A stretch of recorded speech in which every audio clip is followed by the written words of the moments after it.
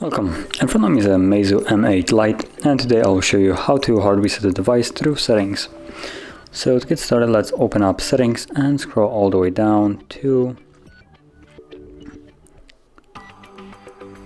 storage and backup, factory data reset and from here reset phone to factory default,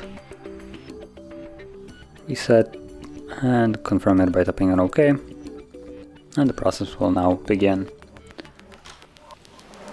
So this will take a couple minutes and once it's finished we should be then greeted with the Android setup screen. So I'll be back once that is visible.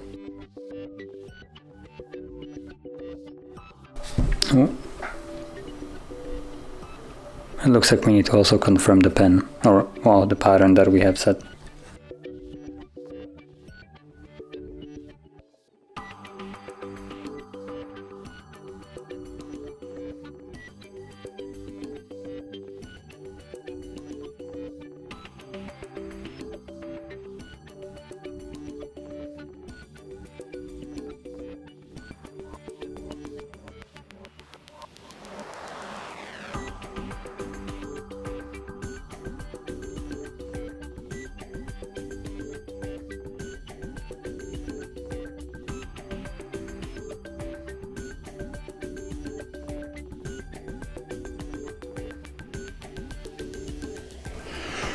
And as you can see, the process is now finished and you can set up your device as however you like.